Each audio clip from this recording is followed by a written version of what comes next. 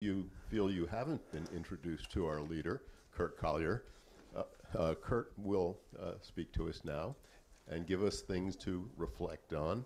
And uh, dur- probably during it and after it, uh, we'll be invite we'll invite everyone to uh, um, say what they got from what Curt has to say. Curt. Internet, you don't have to, Oh, is the. Oh yeah. Okay. only if you want to. Yes, I do want to. And uh, Curt, since May of this year, has been the appointed leader of our Bergen Ethical Society. Over the years, he's served three ethical societies St. Louis, Riverdale Yonkers, and the New York Society. He's also the consulting leader of the Silicon Valley Ethical, Ethical Society, so his ethical reach is, spans an entire continent, and the founder of the Austin Ethical Society. Curt was also a former instructor at the Humanist Institute. Until this past spring, he was the director of a major environmental nonprofit for 15 years and still serves as a consultant for the National Park Service, the U.S. Fish and Wildlife Service, and various nonprofits. Curt has degrees and certifications in philosophy, science, and counseling. For several years, he's taught college at three, di- at three different universities. His research on engaging young adults in science careers was presented before Sigma. How do you Xi? That's from the X is a Z. Okay, Sigma Xi, the Science Research Honor Society, and the American Academy for the Advancement of Science. He's an advocate of ethical biocentrism, which explores how humans can partner with nature to experience the possibilities and wonder of life. Curt is a single father of a son, Andy. And here's Curt.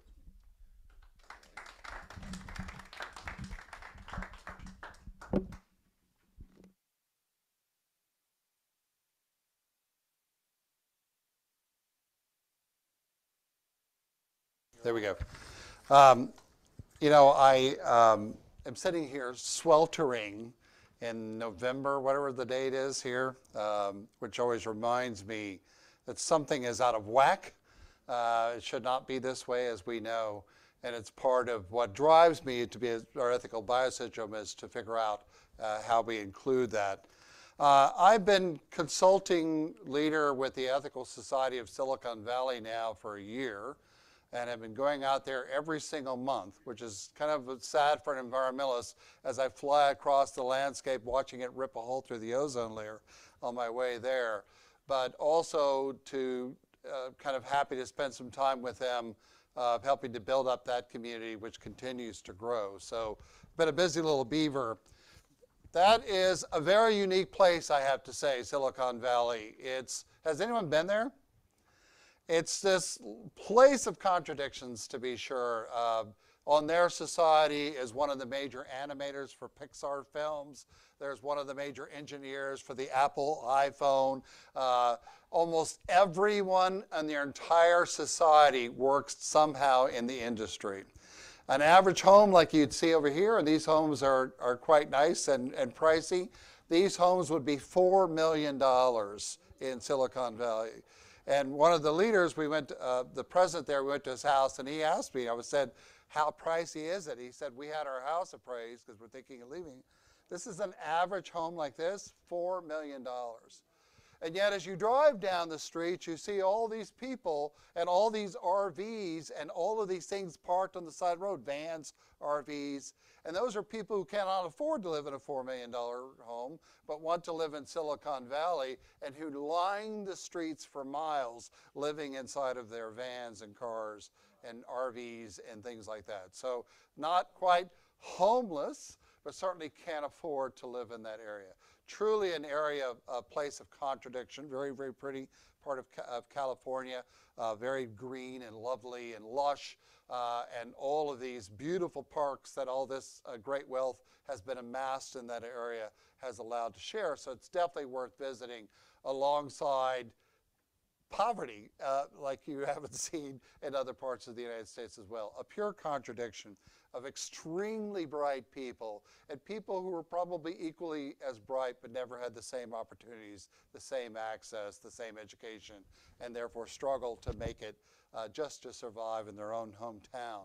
A very weird place to be. So I've been trying to figure out to wrap my head around this community, which in so many ways seems so artificial, right? It's, it's an accumulated wealth that has appeared in one spot, uh, unbelievable amount of wealth. There's the headquarters of Google, Apple iPhones, uh, you name it, NVIDIA, all these corporations piled upon, piled upon, piled upon in one area in this huge place of all these extremely uh, creative talent and then uh, people who take buses to work, specialized buses that pick them up at the house.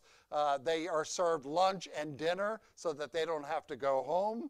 Uh, and of course, then uh, fake Buddhist monks come in and offer kind of versions of the Buddhist texts that real Buddhists get upset about uh, for co- opting their religion to try and get them to find a way to work harder, be smarter, and then zone out from the whole thing. Uh, very interesting place. Also, some very, very lovely people. Uh, and to have conversations with them, just extremely smart people. A lot of them from around the world who got caught up in this wonderful sense of technology using intelligence that they had and to try and make it work. So, my talk is how do I, what do I say to that group of people and to think about what's going on there? And the more they're very much into the Silicon Valley culture, and they read about it and they talk about it. That's part of what they try and expand. What's the technology? It is this remarkable place. And uh, they've had some pretty good speakers, and we've read some really good books to try and figure out. And then I started to think about myself after a year of what I see about this and realized to the extent that Silicon Valley plays such a huge role in uh, ethics worldwide. And I want to tell you kind of why that is. First, I want to introduce a topic, a, a concept to you. You may have heard, but maybe really never thought about or did much, called a meme. Does anybody know what a meme is? You hear this term get dropped quite a bit. You've heard the term about. You want to take a shot at it? What's a meme, Paulo?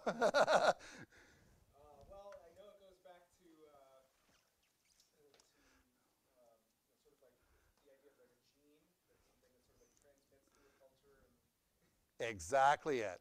Say it again for the now for the studio audience. I'm so sorry those online.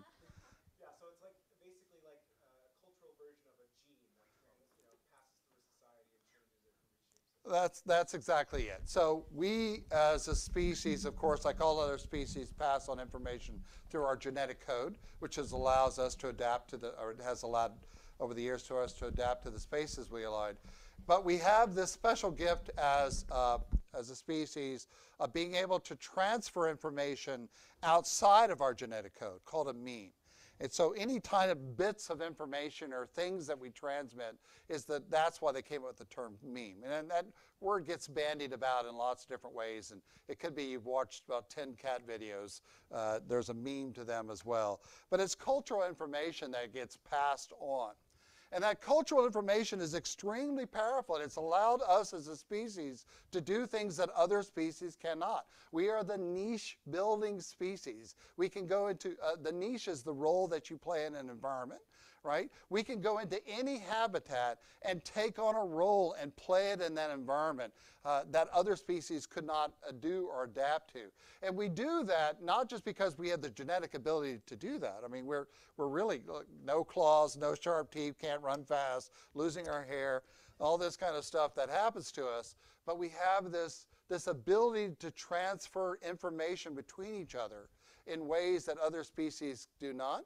Uh, the closest that gets to us is which animal? Dolphins and crows, so they're you know they're closest to us uh, that they can share information. But still, we are the best at doing it, and we do that because we can tr- transfer information through language, through communication, and that's how uh, we've survived and how we thrive as a species.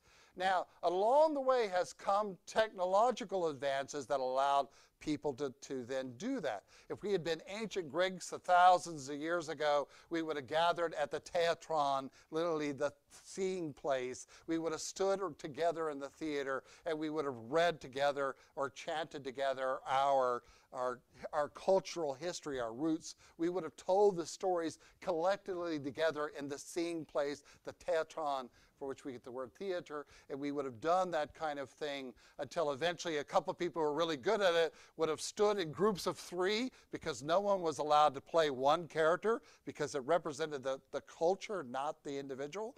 And they, those three would chant, often with a chorus standing behind them, and eventually they would wear masks so that we understood that it was not the individual, it was the culture that was being transmitted, and that, of course, is the roots of modern theater. Over the years, of course, we've gotten better and better at cultural transmission. Think about it. She's reading a piece of music written in what, 1600s? Bach, when was that? Uh, reading a piece of things with a bunch of notes transcribed on some lines, and from that she can unlock Bach's mind and be able to, transmit this thing to us, which is as beautiful today as, as if we had heard it a thousand years ago. And so, to a certain extent, we've always been able to do this, to be able to use these kind of memes and traditions and cultural transmission to, to infect uh, that stuff.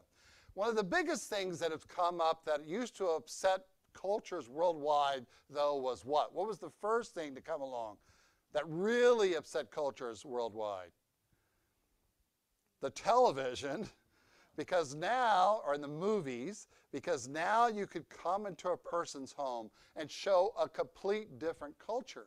And in fact, if you look at many of the kind of wars even up into the 70s and 80s were because other cultures said, I don't want to us to live like that. Look at those people and how they're living their lives in that place. They're coming into our house, into our buildings, into our theatrons, and are telling us what is important. The, the, the, Iranian Cultural Revolution was exactly about that, right? The Western satanic culture that was coming into the homes and destroying that. And I love the fact that, what's that idiot in Russia?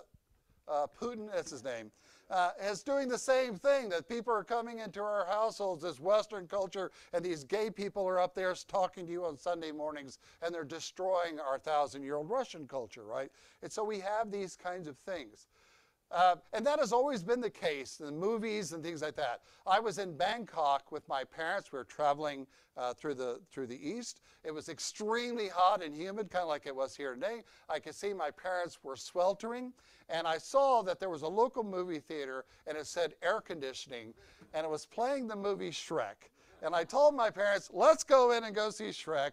It's very, very funny. We walked into this nice, cool, dark theater, sat down, then had to stand up for the, for the national anthem of Thailand, then the, with the picture of, the, of, the, of their king. And then we all had to sit down again. They promptly fell asleep, and I watched Shrek. Now, I'm a fan of Shrek. Seen the movie before, thought it was funny, liked it. You have grandkids, you've probably seen it. It's pretty funny.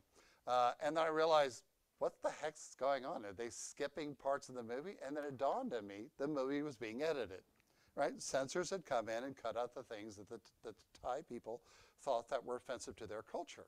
Uh, jokes and things like that were missing. Uh, and whole scenes were missing from the movie. And I realized that. And what an ability that was, have always been to have something that gets transmitted through a camera or through a picture or something like that, for them to come in and edit that particular scene out. So once again, that doesn't happen until new technologies come along. The new technologies that are, all of you are carrying probably right now that allows you to hook directly to a satellite, sometimes without uh, uh, any kind of uh, editing or moderation from the other people, like stuff, to communicate directly with you instantaneously with you. You can go right now, and I don't recommend you do it, but you can go right now uh, there are channels uh, from Ukrainians and from others, and you can actually see the video footage from the drones as they drop bombs on the Russian soldiers. Think of that. You can go right now and see the image of a drone in another culture fighting a war with, with another person with that. Instantaneously without filter. And it's pretty amazing that we have that, that capability of doing that. So there are many ways in which this new technology has been pretty disruptive. And I want to just test this audience to see how much you think about this. In what ways have cell phones and, and social media been disruptive in the last few years? Can you think of, and you use the microphone if you could? Yeah, one, one way that I can think of is that it tr- transmits lies. So, along with truth, um, a lie gets halfway around the world be- before truth gets its boots on in the morning. And that's one of the interesting things, and I'll let you be the person who walks around the room. Uh, one of the interesting things about cultural memes is they do not have to be factual. They're only pieces of culture, whether people believe them or not. But now people can say it's not even the culture, it's just what I believe. Someone sitting in Dubuque, Iowa, from their, from their uh, you know, 17 year old person could be on a computer, Zoom, uh, goo, uh, Zoom bombing us and coming in or putting things out there and impacting our culture. Others, what are the other ways have the technology impacted us today? Wait, wait. Yeah, use the mic. Use the mic. Uh, there was a movie called Wag the Dog, Wag the dog. Yeah. and they invented a war. Yep. And so it was, a, it was an example of that kind of thing. They were aware that technology was coming that could shape, and we, memes did not even have to be true, and you could influence uh, the entire country. Other ways that technology is impacting us today that you've been thinking about? Thank you. Certainly influencing children at a much younger age, uh, seeing things, maybe not understanding them, not having a conversation within, you know, the larger family. Yeah, I mean, your your grandkids, your kids, your grandkids have access to stuff you never would have had access to, uh, you know, until you left the army or whatever. Uh, and that stuff is out there today. Do we have anybody from the uh, Anyone on Zoom want to come in? Eric. Oh, I'm the only one so far. Hopefully others will uh, raise their hand. But I'll, I'll say I think one of the things that I've noticed is that we're really, we're, we're trying to drink out of the fire hose now. There's so much more information. um, and it's so much more difficult to filter, filter it. um, that I think we've become more subject to the confirmation bias. Uh, and I think that's, it, it, so even though there's so much more information, I don't think we're really broadening what we're able to uh, integrate or uh, absorb. Right. People can't tell the difference between the lies and the truths, and so they tend to look for sources that they trust, which is that confirmation bias, which in a way narrows the amount of information because there is so much out there. Do you have other people? Diana in front of you? Susan, and then Joelle? Right. I, um, I think it's like the, the equalization of message. Uh, it's equally urgent to answer your phone, no matter whether it's spam or it's your mother-in-law or whatever. The demand on your attention time and the demand on your filter is very, very strong. And people are, uh, even if you try not to, you're compelled to answer that phone whenever it should ring. Do uh, two more in the room and then one online. Susan and then Joelle? Okay. Uh, that looks like Terry or Alan. Who's it? Ken and Terry. Or Ken, yep. Hi, it's me who's going to talk. Um, I noticed most of the comments so far is o- are kind of negative about social media, and uh, just to be a contrarian, um, but also as part of the communications committee, I always want to put a plug in that this is the way the world communicates now, and to the extent that we're afraid of it or don't understand it or think it's evil, we're just not part of the conversation. So we should be part of the conversation uh, we should have our ideas out there. So we shouldn't be like always negative about it. It's a tool. So right now, Ken and I are traveling. We would not have had the idea or the ability to do what we're doing without social media. I first got the idea that this was a possibility on a site called Reddit. I mean, how, you know, Reddit is the sixth biggest site in the world, but probably many of you don't even know it's there. But it's just a tool just like you could go to the opera or you could go to the you know the, the lowest form of entertainment in your city. That's what the internet is. That's what social media is Indeed that. And this is not a critique of the, it's just saying how much is it impact to us. But the fact that you're sharing this information from Mexico City right now just shows you the global reach of the ways that we can have conversations in ways that would have been unheard of in the, in the past. Joel? And then I need to move on after that, just mindful of the time. Okay, is it technology at large or just social media? The question is about. I wasn't sure, but for social media specifically, I think uh, as Terry, I was going to make that point, but she already made it. It's a tool. It, it depends on how you use it, and I, I work really hard to use mine mostly positively. I have my weak moments, but it's the efficiency that I love.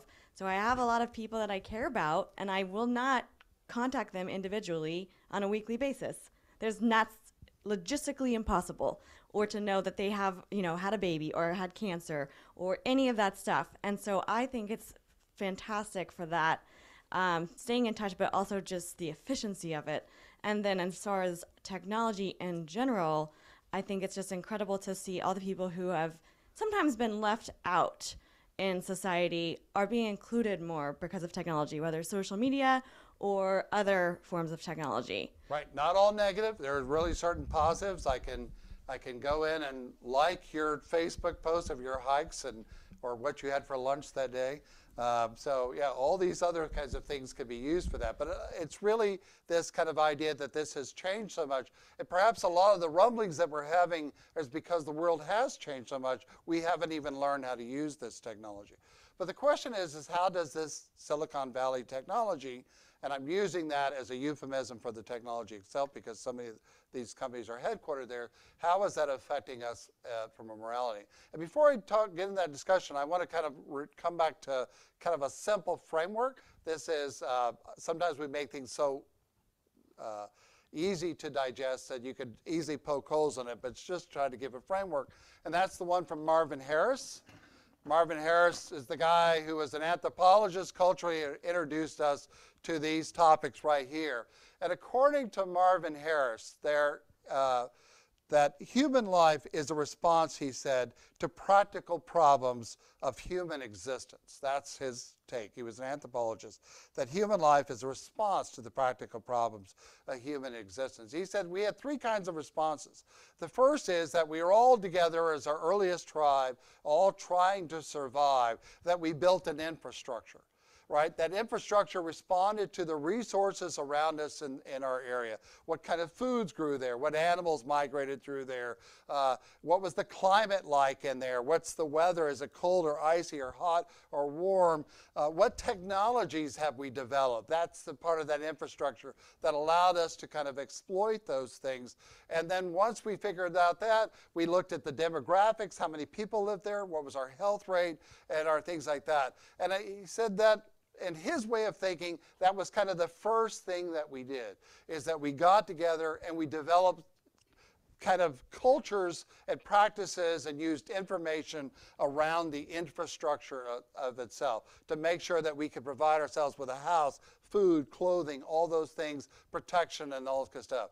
As we develop those technologies and as we get bigger, we discovered that we needed to set up some social structures. What are the laws that are going to govern that? Who's going to have access to this? What are the rules about uh, sharing and things like that? What policies do that? How are we going to police this once we set these things on? And how do we kind of ensure that everybody uh, is, oh, there, that's nice and big uh, that everybody can do this, and what war do we have to wage against other people who may be invading us in order to, to preserve what we have and make sure it goes in there. And then he says, only after that did we develop many of the justifications, Marvin Harris said, for why we do these things. We came up with religions that say, oh, this is why the world is in this order and the structure that it is. We came up with ethical systems, which and things like that that we valued, he thought, which is in order to preserve this, and our sets of beliefs. Now, his famous book on that was to study uh, literally the sacred cow, the Brahman cow of India, and how this started uh, from an infrastructure, social structure structure uh, and the superstructure. Of course, a lot of people have, have attacked this idea, but it kind of gives you an idea of some of the things he was thinking about. He said this has the most power of all, the infrastructure.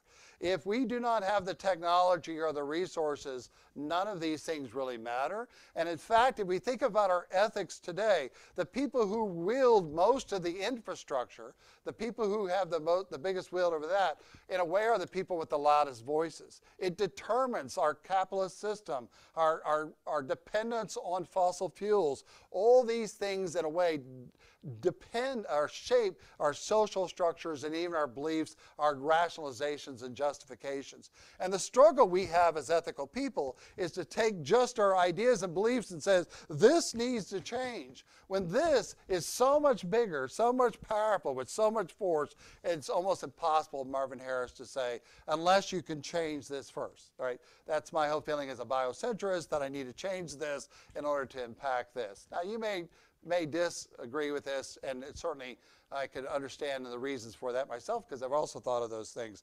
But you can understand how uh, it's not the, the idea that we just need to go out and tell people don't do that.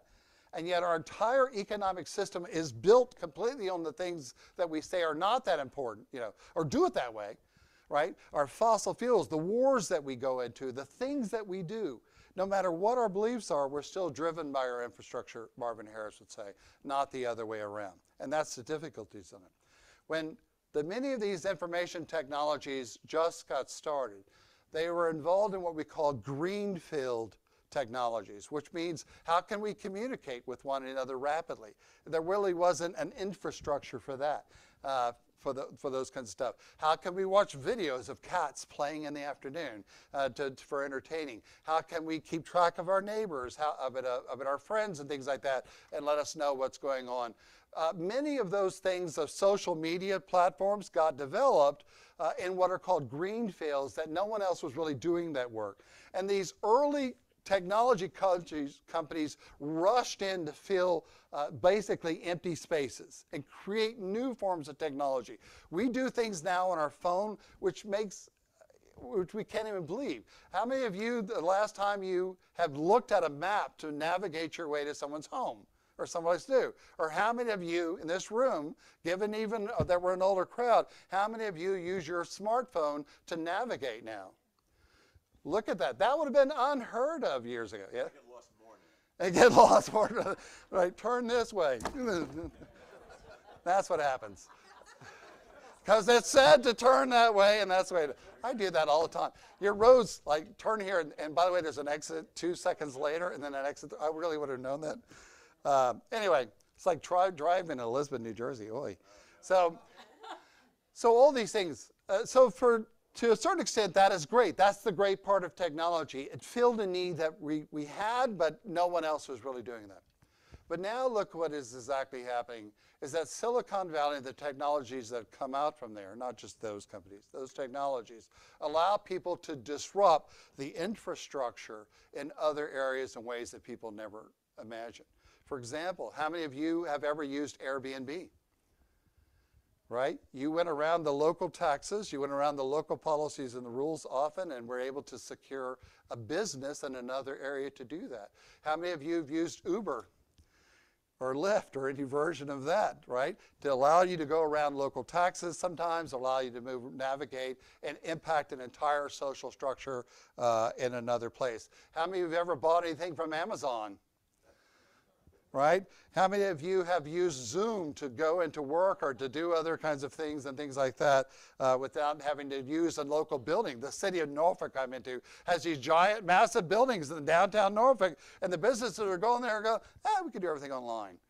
Well, think about all those businesses that built themselves around the maintenance of those giant buildings, the restaurants, the bars, the, the delivery companies, all of that infrastructure has now been doing that and it's going more and more and more. Right? What the technology is allowing is for people to go in and change the life of people far, far away from where they even are, and actually to glean the wealth from that area and then bring it back to one location, to Silicon Valley, hence leading to the $4 million homes. Now, I don't mean this in a negative way. This is just how our system works. Can people think of other ways in which the, the technology is disrupting our infrastructure in other areas. Yes, sir. All right. have four people in a room that are in completely different spaces from one another and not interacting at all because they're each on. You can have four people in a room who are not interacting with one another because they're all on their phones doing something in some other space, some other, some other part of the world. Yeah.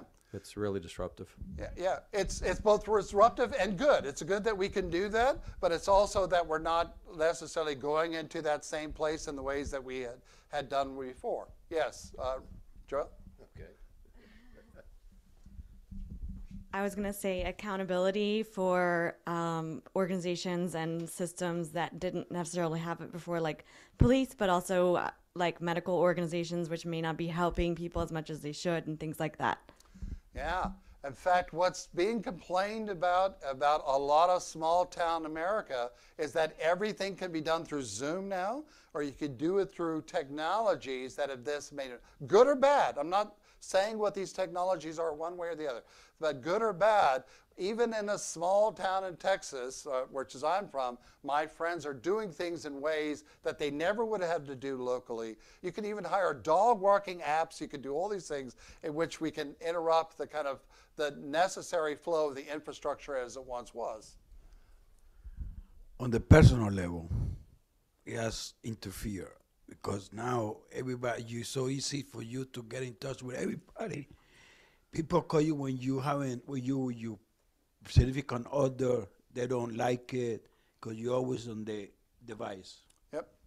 In fact, the technology has gotten to such a place that what the term you often hear in Silicon Valley is that it's a good thing to be a disruptor. Do you know what the term disruptor means, right? That's where you can go into another business and completely disrupt it with a far more efficient way to do it. But that may be based on one or two cities that have access to the technology or to the digital divide that allows them to do that. And once again, if you're with Marvin Harris, the, the infrastructure changes and impacts the social structure in this way. It goes this way, not this way. How might that be driving us in conversations that we're having right now uh, uh, about those? Let's take the social structure for a second. How many Americans now trust voting machines? Now, this is a crazy thing. You want to explain to people that this is a, a, a computer that's plugged into electricity, not even hooked to the internet.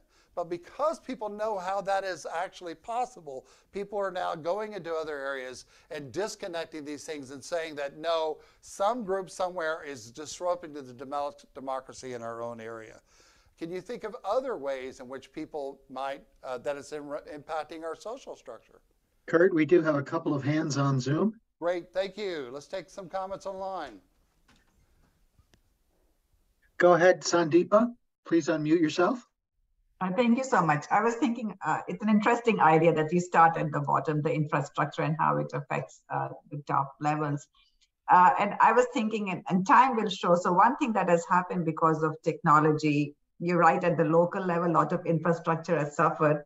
But the good thing that may happen is it has allowed people to work remotely and they are moving out into smaller towns. So, this whole concentration that was happening in the big cities leading to poor quality of life it's it's making people move out and hopefully it'll over time if it's sustained may create more uh, spread of wealth and these smaller towns and cities which may not have been thriving can potentially get to thrive because people are now living there and you know investing there and building lives there so i was just thinking of the other side of it Yeah. Uh, Not all good and not all bad, but certainly allows for the decentralization of uh, wealth and practices in some area that people can move in there.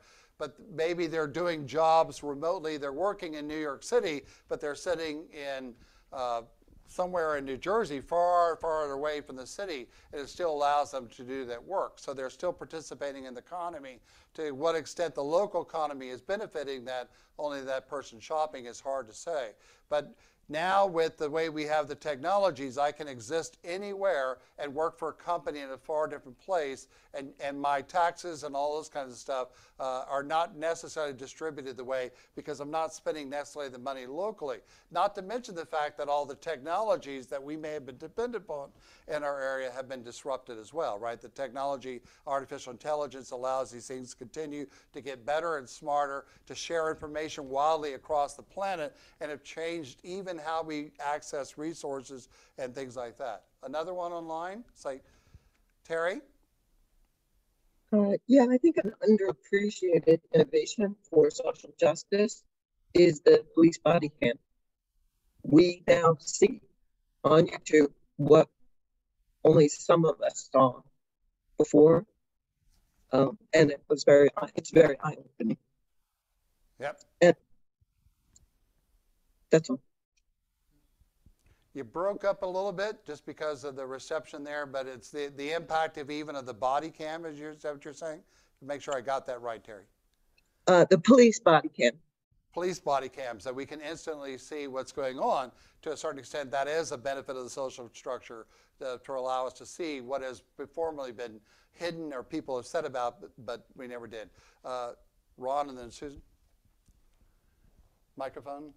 Ron, sorry about that, Jeff. Sleeping at the switch here.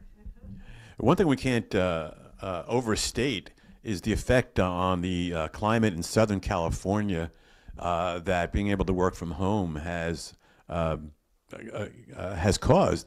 my son used to drive an hour and a half each way to work in his car, and an hour and a half back, and that was three hours of driving with fossil fuels being released into the atmosphere.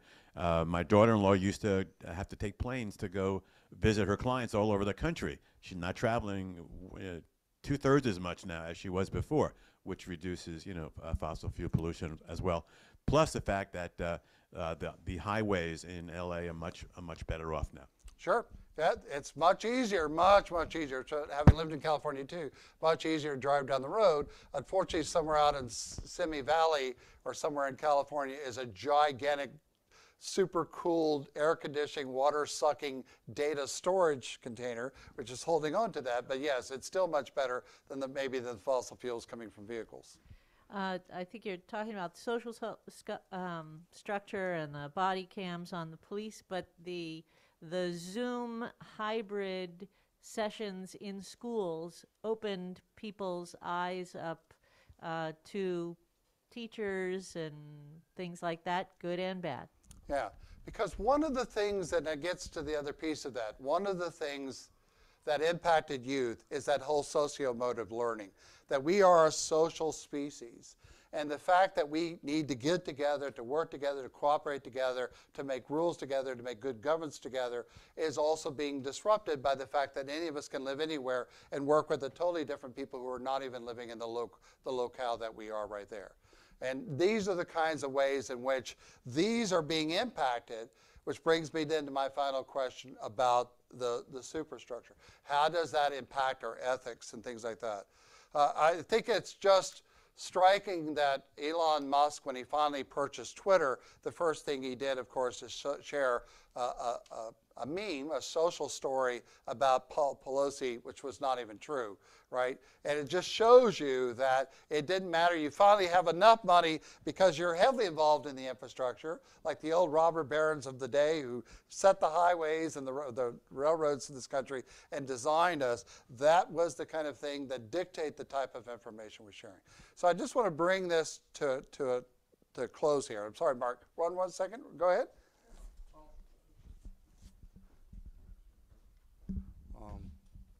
Yeah, I was just going to say, I was wondering, like, we're talking about all the positive things from this new infrastructure and some of the negative things. So one of my, my question was also then, it seems to me there's a lot of new opportunities to, to deal with the deficits for these problems, to create community locally, to create businesses or things that can get people bricks and mortar or bring them together. And um, the other thing is about the internet. You would wonder that now that there's, we were talking about the line and uh, facts. And it seems to me it's very asymmetrical and it's much more different than in the past because the information is so large and it's much more difficult to prove facts than lies. So the asymmetry of the situation is magnified exponentially and it's much harder to get it, obviously, to get information because to know if something's true or not, you have to do research, but you can put out so much there. So I was wondering that maybe they need to create standards for um, these uh, new these these uh, channels uh, online that there has to be some kind of criteria for when you make a statement that it has to be represented as either a, a fact and, and you can only say it if you have evidence to prove it or you have to really discriminate or whether it's not. But you shouldn't just be allowed to claim things without have qualifying it as being an opinion. Right, so that's what Elon Elon Musk is suggesting, that, what is it, for thirty dollars a month, how much is it? How much? Eight dollars a month, you can get a blue check mark next to your name, which means they know who you are and you're verified and those kind of stuff. But it still allows large numbers of people, uh, spread across, a sprinkling of people from across the United States to have access to the technology, to put out large amounts of information, which have brought us into lots of turmoil as well. So I leave you with this question, ethical people, about how we impact this. The technology is a good thing. Technologies tend to be as well, but they have big impact on as well. If we're just going to come out and say, thou shalt not do that, how really is that really changing this? Marvin Harris said, yeah, you may have some cultural ability and magic that allows you to shift the infrastructure, but not unless you're addressing these other things as well. And that's the complexity we have here, and that's what I wanted to bring you to this day. Thank you so much. Thank you, Curt. Thank you. Wow, eight dollars a month for, for, for a blue verification badge sort of sounds like selling indulgences, doesn't it? That's right. Well, uh, at this point, I want to thank everyone who made, Curt, thank you, first of all, but I want to thank everyone else who made this possible at one, our greeters and ushers, uh, Edna Berkovitz and Amy Bly, certainly our musician, uh, Ellen De Pasquale, our Zoom coordinator, Eric Sanhusen, thank you, Eric, um, hybrid and sound, David Bland, thank you, David, um, our hosts for the morning, largely our host, that would be Ginger Gordon, who baked the wonderful banana bread that we've tasted. And now, uh, thanks everyone. And now it's time for uh, announcements and collection. One of the beauties of getting together is that we can give together. So please do. Announcements? Uh, Ed. Yeah, Yeah, it's a pleasure to be here in person to make the announcement this morning. Just to, uh, from the membership committee, to welcome you all here. A lot of uh, familiar faces in front of me, but online I see some people who are who- who are new to me, perhaps newish to the society. So I want to encourage you to come back and back and back, whether you can visit us in person or on on Zoom. We're happy to interact with you and uh, hope you'll uh, take the time to get to know us better. Look us up on on uh, our website if you haven't done that yet, and uh, uh, maybe one of these days, depending if you're in Mexico City or closer than that, you might want to drop by the society, and we'd be happy to see you here. Thank you, Ed. Uh, David. Thank you, Jim. I'm David Bland. I'm the administrative director and a longtime member, and I have two genuinely important announcements. The first is that on November 20th, we have our fall membership meeting. Now, normally the major reason that we have that meeting is to pass the 20 the next year's budget, the 2023 budget, and we will do that. There'll be a presentation on that and we'll take a vote on it. But in addition, we're going to talk about a couple of other important issues, one of which is to rename this event, a platform, to something else. So if you come to the fall membership meeting, we will discuss that. And following the meeting, there will be a poll sent to all members to vote on that. And that will all be explained at the fall membership meeting on November 20th, right after the platform. And everyone who's a member will get a, a notice in their email at 1 o'clock today with that agenda. And I know there's a couple of members on who are in the call but dialed in who don't really have um, full access to email, and you will get it by snail mail, if I may use that term, U.S. mail. The second announcement is that we have a really exciting event. The Society is co-sponsoring an, a movie at the Teaneck International Film Festival, also on November 20th, but that will be at 5.45 p.m. It's called Julia Scotti, Funny That Way. This is a, excuse me, a, very warm uh, documentary about a trans comedian who transitioned from male to female. She had been on television as a, uh, as a man, later transitioned and was in America's Got Talent and explained the whole situation. It's a terrific um, documentary. Uh, and it will be followed by a talkback with the producer and with Julia Scotti herself. And Julia will do a show. She's a stand up comedian, I can tell you she uh, really is quite good. So, tickets are available for $8. I'm going to pass out a flyer to the people in the room. I'll put some information in the chat window. If you are going to go, let me know, and I will make sure that we can all sit, to sit together. At, and it will be at Temple Emeth, not here. I see that we have Sylvia Acosta, the Oh, chair of our uh, Ethical Enrichment Committee. Go ahead, Sylvia, unmute yourself. There we go. Hi, everyone. So good to be here today and listen to Curt and hear all your thoughts. Um, so, we're coming back full force now. Uh, ethical eating will happen on the 13th in the meeting house. Yay! 1:30, November 13th.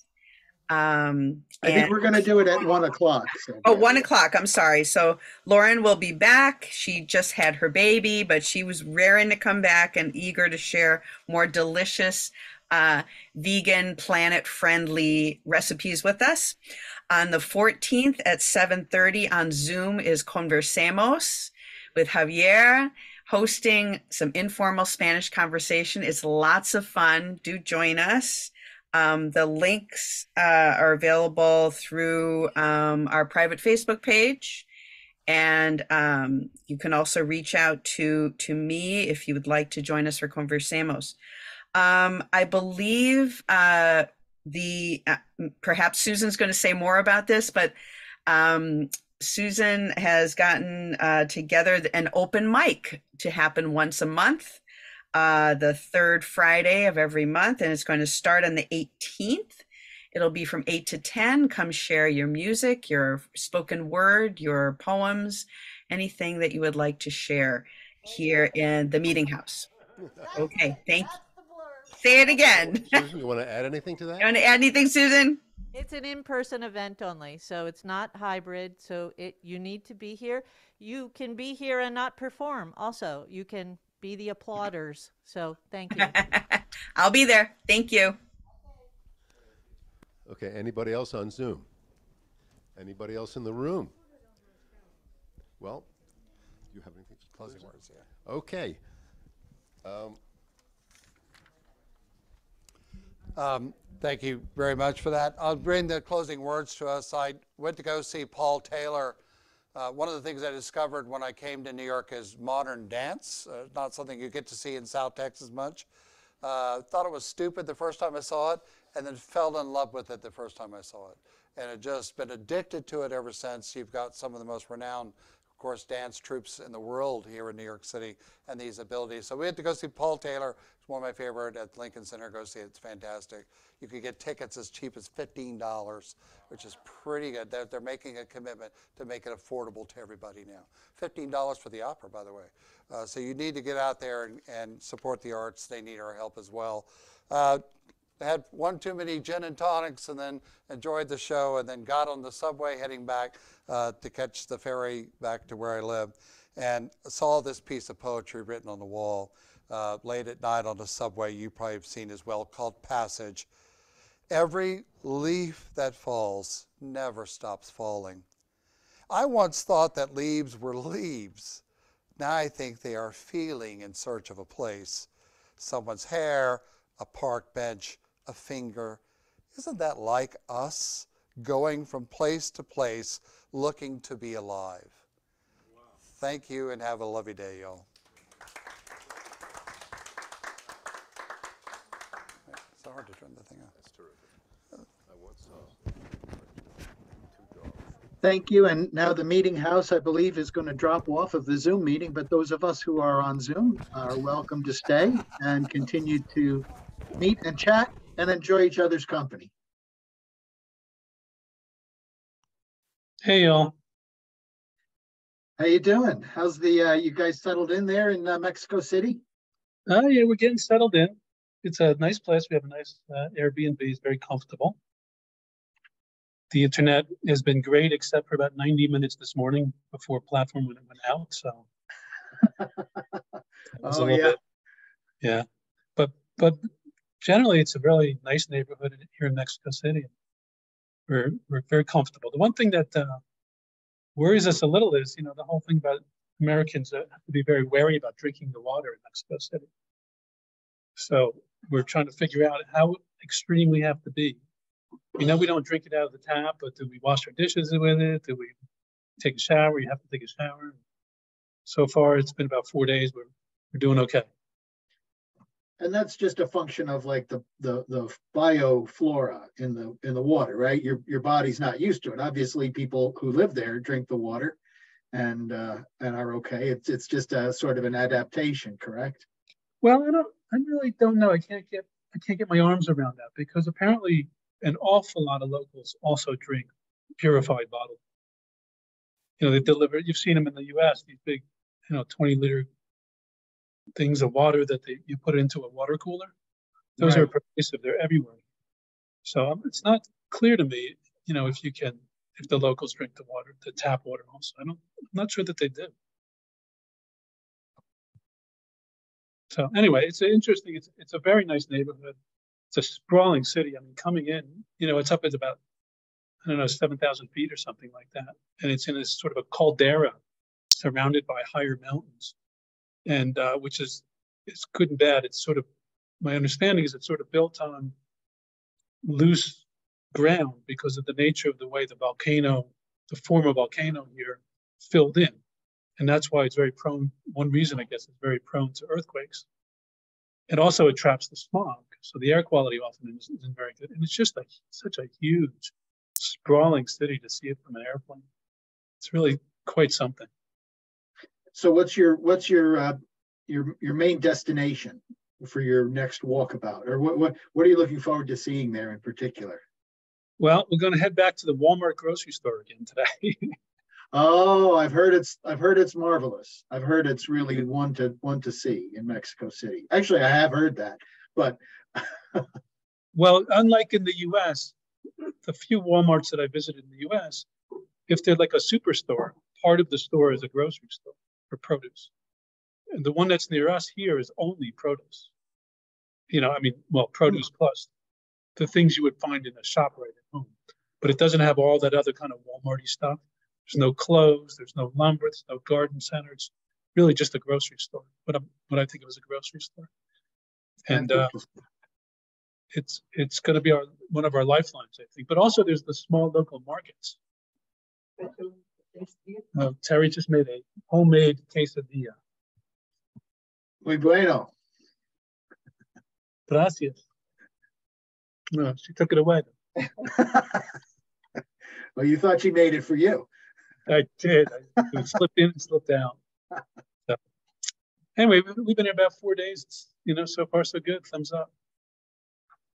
That's good. Well, I'm glad you had safe travels there and hope. uh, I'm sorry we didn't get together at the end there. I know, I know you guys were like super, super busy and hope, hopefully you were able to, you know, tie up all your loose ends here Yeah, in but Bergen County.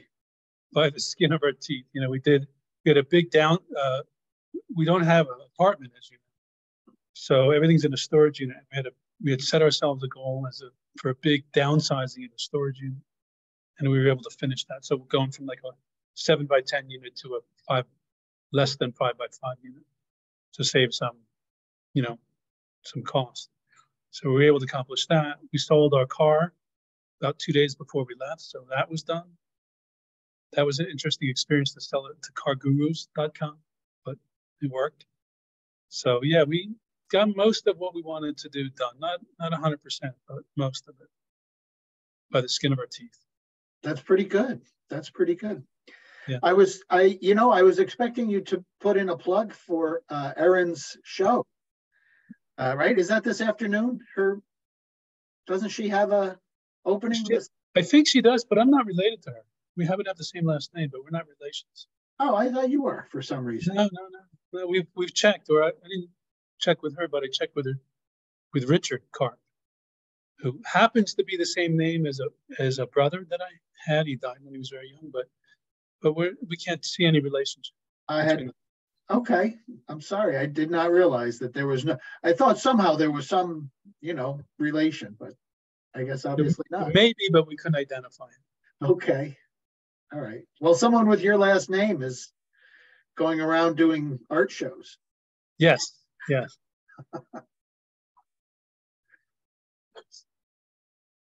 That's uh anyway, that's that's uh at uh up at the uh Union Arts Center in Sparkill.